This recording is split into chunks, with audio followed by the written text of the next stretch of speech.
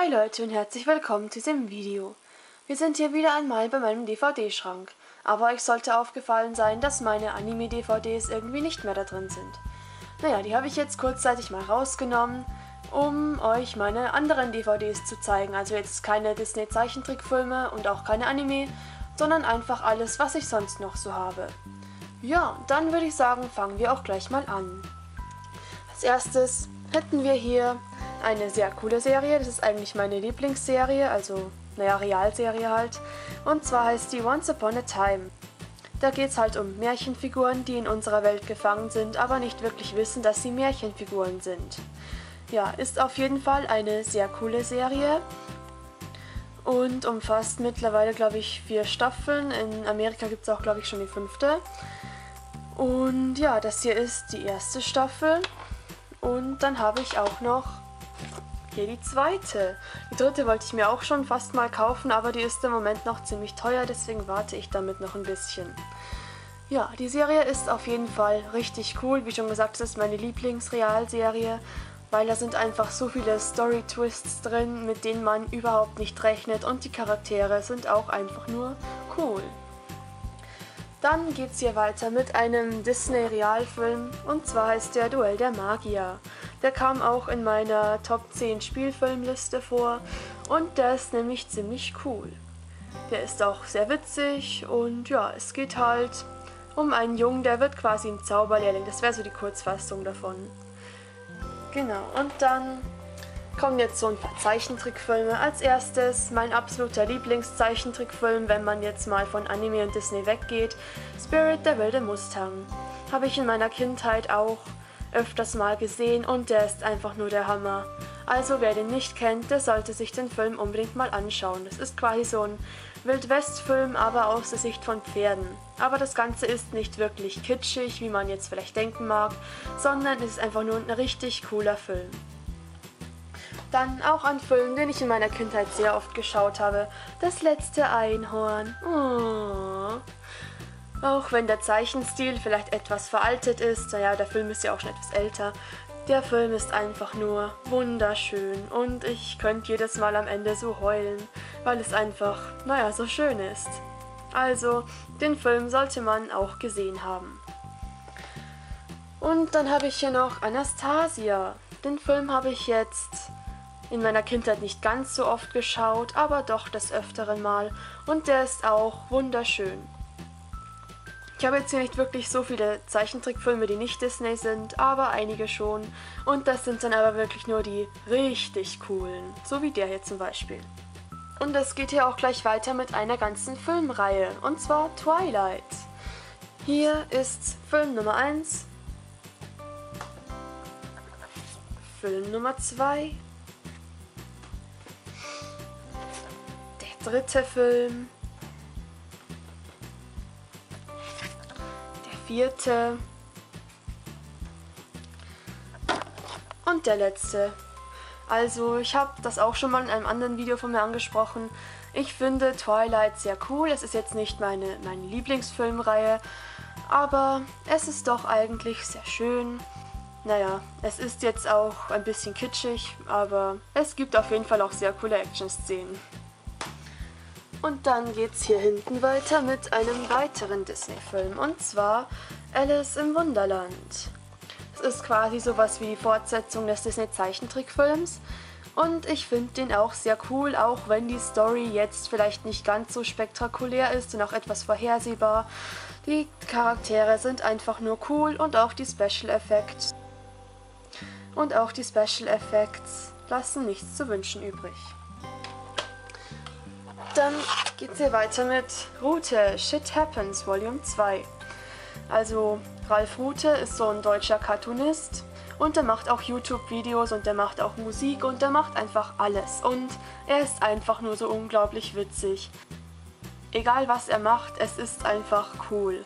Und deshalb habe ich mir hier diese DVD von ihm gekauft. Und da sind einfach einige Sketche von ihm drauf die er im Internet veröffentlicht hatte oder auch einige, die er noch nicht veröffentlicht hatte, die also praktisch nur auf dieser DVD drauf sind. Ja, ich finde die DVD auch sehr schön, aber ich habe es jetzt eigentlich auch nur gekauft, um ihn so ein bisschen zu unterstützen. Und dann geht's hier weiter mit einem absoluten deutschen Comedy-Klassiker, der Schuh des Manitou. Sogar die 2-Disc-DVD-Edition. Yay! Ach ja, der Film ist einfach nur der Hammer. Manche mögen ihn zwar nicht lustig finden, aber ich finde ihn sehr lustig. Den sollte man auch auf jeden Fall gesehen haben. Und dann geht's hier weiter mit einem weiteren Fantasy-Film, und zwar Tintenherz. Das Buch dazu habe ich jetzt nicht gelesen, aber den Film habe ich gesehen, natürlich. Und der ist auch sehr cool. Ich mag die Geschichte. Dann geht's hier weiter mit Der König und ich. Das habe ich auch schon mal in einem Video von mir angesprochen. Ja. Da geht's halt um diese Lehrerin, die nach Siam kommt, um dort die, um dort die Kinder des Königs zu unterrichten. Ja, allerdings gibt es da so ein paar kleine Auseinandersetzungen zwischen ihr und dem König. Ich finde den Film auch sehr süß. Er ist halt jetzt eher für Kinder, aber er ist ziemlich niedlich. Und dann geht es hier weiter mit Der Goldene Kompass. Ja, und da hinten fällt schon wieder alles um, wie wir es kennen. Also, Der Goldene Kompass finde ich auch richtig cool. Ich habe auch die Bücher gelesen, zumindest so bis zur Hälfte, also den ersten Band und dann noch, glaube ich, den halben zweiten Band, aber dann wurde es mir irgendwie zu langweilig. Also nicht, dass jetzt die Geschichte langweilig gewesen wäre, aber irgendwie, naja, hatte ich dann keine Lust mehr weiterzulesen. Der Film ist auf jeden Fall auch sehr schön und ich finde es ziemlich schade, dass die anderen beiden Teile nie als Film produziert worden sind. Aber was nicht ist, kann er noch werden, wobei ich das eher für unwahrscheinlich halte.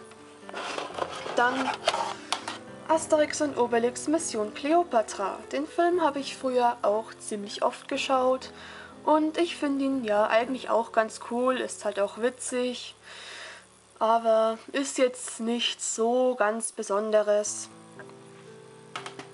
Und dann Hook. Ist quasi so eine Fortsetzung von Peter Pan, wo Peter Pan schon erwachsen ist und dann nochmal ins Nimmerland kommt. Finde ich auch ganz schön, ist jetzt auch nicht so spektakulär, aber ja, ist ganz nett. So, jetzt kommen wir zu einigen Disney Channel Serien und Filmen.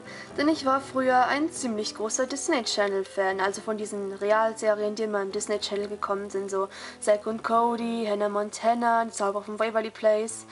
Ach ja, das habe ich einfach früher so geliebt und ich habe eigentlich nichts anderes angeschaut. Naja, und deswegen habe ich hier auch einige DVDs davon.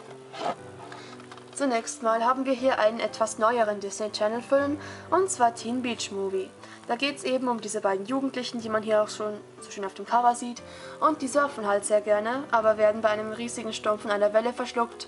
Und als sie wieder aufwachen, sind sie plötzlich in einem Film der 50er Jahre. Ja, ist auf jeden Fall auch sehr interessant. Es ist jetzt nicht die neueste und krasseste Story-Idee ever, weil sowas gab es ja eigentlich schon öfters, aber ich finde es eigentlich ziemlich cool und ist auch nett gemacht. Dann haben wir hier die Zauber von Waverly Place, der Film. Die Zauber von Waverly Place habe ich früher auch sehr gerne geguckt, weil ich wollte als Kind auch immer zaubern. Und es war auch immer sehr lustig. Aber mittlerweile schaue ich es eigentlich nicht mehr. Und dann habe ich hier noch Staffel 1 von den Zauber von Waverly Place. Wie schon gesagt, ich mochte die Serie früher sehr gerne. Ja, die erste Staffel ist jetzt nicht die beste, aber ich will die DVDs jetzt auch nicht verkaufen, denn es erinnert mich einfach so an meine Grundschulzeit. Dann haben wir hier die High School Musical Reihe. Ja, High School Musical ist jetzt zwar Romance, was ich manchmal eigentlich eher langweilig finde, aber das ist schon sehr gut gemacht und vor allem liebe ich auch Musicals. Und deswegen mag ich diese Filme eigentlich auch. Also das hier ist der erste Film. Und dann noch der zweite in der Extended Edition mit so einem coolen Glitzercover. Und dann auch noch der dritte. Ja, wie schon gesagt, eine sehr schöne Filmreihe. Sollte man sich auf jeden Fall auch mal anschauen. Aber wenn ihr es nicht mögt, wenn in Filmen gesungen wird, dann schaut es euch lieber doch nicht an. Also, und jetzt kommt's, Hannah Montana. Oh mein Gott, ich war früher der größte Hannah Montana-Fan überhaupt. Das hier ist jetzt Hannah Montana, der Film. Da war ich damals auch im Kino, als der gelaufen ist. Und ich fand's halt eigentlich schon ziemlich cool. Ich finde es heute auch immer noch cool. Der Film ist schon sehr gut gemacht. Und er ist auch ein bisschen anders als die Serie. Das finde ich schön. Weil es ist jetzt dieses Mal so ein bisschen leicht tiefgründiger. Wenn es natürlich auch, es ist natürlich immer noch lustig. Dann haben wir hier Hannah Montana, die komplette erste Staffel. Die komplette zweite Staffel. Die dritte Staffel. Und dann noch die vierte Staffel. Also, ihr seht schon, ich habe praktisch alle Folgen, die es von Hannah Montana jemals gab. Und ja, ich habe es früher einfach so geliebt, weil ich wollte immer eine Sängerin sein, genau wie sie. Und ich fand die Geschichte halt einfach auch total toll, dass sie immer diese Perücke nimmt, um sich als Star zu verkleiden, damit halt einfach niemand weiß, wer sie in Wirklichkeit ist. Ach ja, mittlerweile finde ich Hannah Montana jetzt nicht mehr ganz so toll, aber früher es war, es war früher einfach mein Sailor Moon, muss ich jetzt mal sagen. Dann habe ich auch noch was von Hannah Montana. Und zwar Best of Both Worlds Concert. Es ist halt so ein Konzert und das wurde da praktisch gefilmt. Also es ist jetzt ein bisschen, auch ein bisschen mehr. Da wurde auch ganz viel Backstage gefilmt und es wurde auch richtig schön gemacht, muss ich sagen. Also mir gefällt der Film eigentlich ganz gut weil ich mag die Musik immer noch, auch wenn sie jetzt nicht die beste Musik aller Zeiten ist. Ich mag es auf jeden Fall. Und diese DVD habe ich auch für 1 Euro auf dem Bazar bekommen, also von daher. Und dann das letzte vom Disney Channel. Ich weiß nicht, wie man das ausspricht und wie die DVD heißt, weil die habe ich irgendwo in Italien gekauft. Naja, also ich weiß jetzt auch nicht so ganz genau, wie ich erklären soll, was das für eine DVD ist. Ähm, hier sind halt eben diese verschiedenen Serien, Hannah Montana, ähm, Raven oder wie auch immer das geheißen hat und Hotel Zack und Cody. Und es gibt ja bei diesen Disney Channel oft, oft so Promo-Auftritte. Zum Beispiel, dass jetzt Hannah Montana bei Zack und Cody mitspielt oder Raven für eine Folge auch mal bei Zack und Cody oder ja immer so weiter halt. Und da wurde und da wurde jetzt praktisch einige Folgen mit diesen Promo-Auftritten auf diese DVD gepackt. Also ich glaube zuerst kommt Raven ins Hotel von Zack und Cody. In diesem Hotel ist dann auch Hannah Montana und später kommen dann Zack und Cody nochmal zu Hannah Montana. Ja, ich denke so ungefähr war's. Und ich finde die DVD auch sehr schön und ich will sie jetzt auch nicht verkaufen. Ja, weil auch da sind halt wieder, naja, war halt eben meine Kindheit. Und dann geht es hier weiter mit der Shrek-Reihe. Hier haben wir mal den ersten Teil, Shrek der tollkühne Held. Shrek 2. Und Shrek der dritte. Das ist jetzt leider eine aufgenommene DVD, deswegen sieht das Cover jetzt auch nicht so schön aus. Naja, auf jeden Fall, also es gibt eigentlich noch einen vierten Teil, aber den habe ich jetzt nicht und den fand ich jetzt auch nicht ganz so gut. Ja, also ich habe früher die Filmreihe geliebt. Mittlerweile finde ich sie auch nicht mehr so super. Am besten finde ich immer noch den zweiten Teil. Ja, aber die anderen beiden sind auch sehr schön. Und dann haben wir eine aufgenommene DVD. Sorry, da ist jetzt kein Cover drauf. Und zwar ist da einmal drin B-Movie und dann auch das doppelte Lottchen. Also B-Movie ist halt auch so ein Animationsfilm. Da geht es halt darum, dass die Menschen immer die Bienen hassen, aber da gibt es eigentlich gar keinen Grund dafür. Naja, ich mag Bienen trotzdem nicht so wirklich. Na egal. Den Film fand ich jetzt ganz okay, habe ich aber auch schon lange nicht mehr geschaut, aber ich glaube mittlerweile würde er mir jetzt nicht mehr so gefallen. Doppelte Lottchen ist auch so ein Zeichentrickfilm und der ist wirklich sehr süß. Den habe ich früher auch ganz oft geschaut und den wollte ich mir jetzt eigentlich auch wieder mal ansehen, habe ich aber bisher noch nicht geschafft. Dann haben wir einen Film, der heißt Monoceros, das geheimnisvolle Einhorn. Ja, der wird jetzt eher unbekannt sein. Und zwar habe ich den aus dem Pony Club. Ja, ich war nämlich früher im Pony Club und da hat man quasi so jeden Monat, glaube ich, so ein Paket bekommen und da waren halt einfach so ganz viele Sachen mit Pferden drin, so Figuren oder auch so Filme und einfach alles Mögliche, was mit Pferden zu, zu tun hatte, war da drin. Ja, also im Pony Club bin ich natürlich schon seit Jahren nicht mehr, aber die Filme habe ich immer noch Monoceros fand ich eigentlich ganz schön. Da geht es halt um dieses Mädchen und die reitet halt natürlich sehr gerne. Ja, was will man noch anderes erwarten? Und sie fällt aber eines Tages vom Pferd und hat dann plötzlich totale Angst vor Pferden. Ja, es geht halt auch so ein bisschen um Einhörner. Finde ich eigentlich auch sehr schön. Ist jetzt aber nicht der beste Film, den ich jemals gesehen habe. Dann haben wir hier Bibi Blocksberg. Vielleicht habt ihr es ja mitgekriegt, ich war früher ein sehr großer Bibi Blocksberg und Bibi und Tina Fan. Und ja, das hier ist eben der deutsche Realfilm, der erfolgreichste deutsche Kinofilm 2002, sehe ich hier gerade. Naja, finde ich auch ganz okay. Deutsche Produktionen sind ja jetzt meistens nicht ganz so super. Aber der ist eigentlich schon ganz schön und ich habe den früher auch sehr gerne gemocht. Und dann geht es weiter mit dem zweiten Ponyclub-Film und zwar heißt der Verrückt nach Pferden. Den fand ich eigentlich sogar noch cooler als Monoceros. Da geht es nämlich um diese drei Kinder und die wollen unbedingt mal nach Nevada, um Wildpferde zu sehen. Und deswegen schmuggeln sie sich einfach mal in das Auto von ihrem großen Bruder und der nimmt sie dann halt eben ungewollt mit nach Nevada und dort verlaufen sie sich dann plötzlich in der Wüste. Naja, finde ich eigentlich auch ein sehr schöner Film. Habe ich aber auch schon eben länger nicht mehr geschaut und das sollte ich mal wieder tun. Dann haben wir wieder eine aufgenommene DVD, Flutsch und Weg. Den Film habe ich früher schon öfters mal geschaut, aber mittlerweile kann ich mich daran eigentlich nicht mehr so wirklich erinnern. Naja. Ich glaube aber jetzt nicht, dass der Film so toll war, weil sonst würde ich mir das, sonst würde ich das glaube ich immer noch wissen, um was da überhaupt gegangen ist. Dann habe ich hier den Film Knut und seine Freunde. Das ist quasi so eine Dokumentation über Knut und auch über andere kleine Bären. Und das finde ich auf jeden Fall auch sehr schön. Ist zuckersüß, habe ich jetzt auch schon länger nicht mehr gesehen, aber ich weiß auf jeden Fall noch, dass ich den, dass ich den Film richtig süß fand. Dann hier Katzenbaby Sorry DVD sieht ein bisschen demoliert aus. Das habe ich auch irgendwann mal auf dem Flohmarkt gekauft.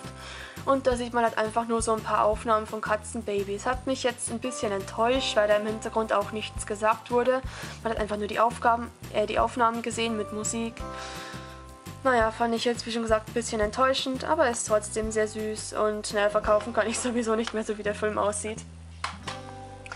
Und dann hier Weihnachten mit Astrid Lindgren und da hinten fällt schon wieder alles um. Ja, da sind halt so ein paar Folgen drauf von Pippi Langstrumpf, von Michlaus Sönneberger und so weiter halt. Ja, es sind halt Weihnachtsfolgen und ich finde das sehr schön, denn ich habe Michlaus Sönneberger früher auch sehr gerne geguckt. Und wir gucken das eigentlich immer zu Weihnachten. Und Pippi Langstrumpf habe ich damals auch sehr gern gemocht. Ja, und deswegen finde ich es halt schön, dass ich hier so ein paar Folgen dieser coolen Kinderserien auf DVD habe. Dann geht hier weiter mit einer weiteren Serie und zwar Lassie. Ja, die Serie ist schon etwas sehr älter, denn die ist auch noch schwarz-weiß, wie man hier schon sieht. Ja, also als Kind habe ich die Serie irgendwie ziemlich gerne geschaut. Mittlerweile habe ich sie schon ewig nicht mehr geschaut. Aber ich glaube, sie war eigentlich, sie war eigentlich ganz schön, ja. Und dann kommen wir zu meinen Barbie-Filmen. Ja, ich habe als Kind natürlich wie ziemlich viele Mädchen sehr gerne Barbie-Filme geschaut. Aber also so richtig gekaufte DVDs habe ich ja eigentlich nur den hier, der geheimnisvolle Pegasus. Das war auch damals mein absoluter Lieblings-Barbie-Film. Und da hinten fällt schon wieder alles um. Was ist denn hier los? Egal. Auf jeden Fall war das früher mein Lieblings-Barbie-Film. Ich weiß eigentlich gar nicht mehr warum. So toll fand ich den gar nicht mittlerweile. Also so toll finde ich den mittlerweile gar nicht mehr. Aber naja, früher habe ich ihn eben super gefunden, weil es ging um Pferde, um fliegende Pferde und ja, naja, ist auf jeden Fall ganz schön. Ich habe mir den auch erstmal wieder angeschaut, einfach wegen Nostalgie und so.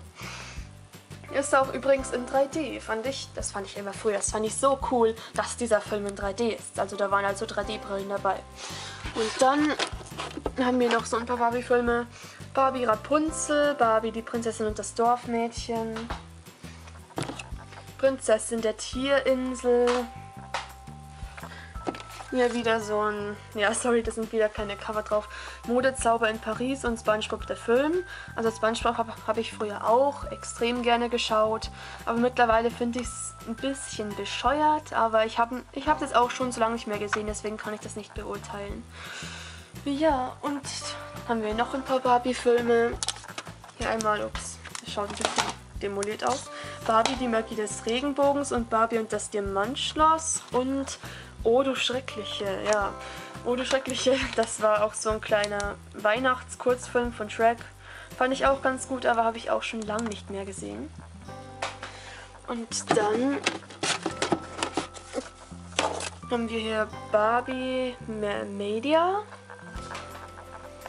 Hier sehe ich gerade noch Barbie Mariposa. Mit gar keiner Hülle, leider. Barbie, die zwölf tanzenden Prinzessinnen.